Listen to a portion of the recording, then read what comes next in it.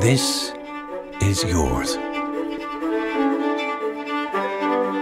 These rooms, these walls, these works, yours. Thousands of stories sit in these frames. The historic wings of the National Gallery of Ireland shine once more. Our nation's visual legacy preserved for future generations.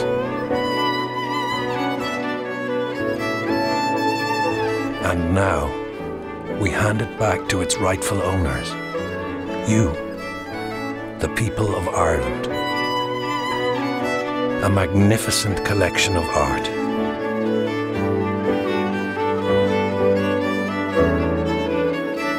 Inspiration for the nation.